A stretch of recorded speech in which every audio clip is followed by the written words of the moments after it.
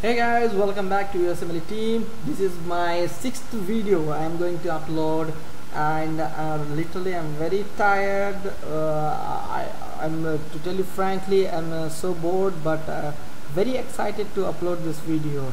Um, I hope you like it. If you have any questions please do let me know. Before starting this topic uh, um, please do subscribe. That's what I want right just keep uh, replaying the video again and again. And one thing I want to tell you that if you go to my channel uh, where you can see a link uh, playlist I made a play playlist so that if you click once you can uh, it will take you around one to two hours depending on the topic or subject. So uh, you will get more and more information. Just one click you are one click away that's it. Okay? Let me start with the tarsal tunnel syndrome welcome back guys. Okay what is it? It's a compression of the tibial nerve or its associated branches as the nerve passes underneath the flexor retinaculum at the level of ankle or distally.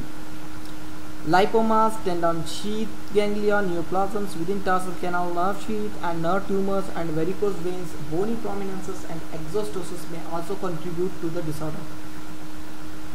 This is the same disorder like a carpal tunnel syndrome. Later I will upload more video on uh, carpal tunnel syndrome that's also very important topic for USMLE examination guys. Okay guys.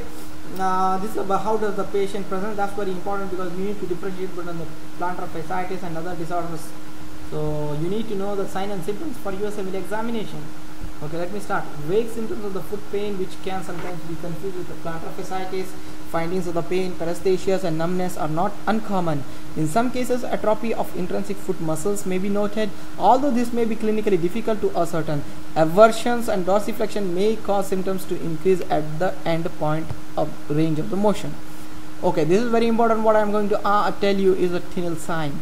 Radiating of pain and paresthesia along the course of the nerve may often be induced posterior to the medial malleolus. Okay i'm kidding uh, sometimes generally it subsides with the rest although the typical do not disappear do not disappear altogether percussion of the nerve with the resultant distal manifestation of paresthesia is uh, known as the Tinel sign. You need to remember what is Tinel sign, when it is done and how it is done. This is very important for USMLE examination.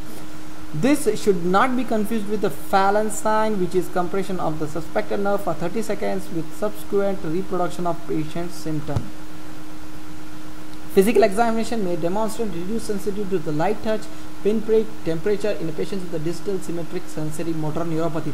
So in USMLE they can give the history of uh, loss of uh, sensory functions because this can be get uh, you get confused with the diabetic neuropathy. Okay.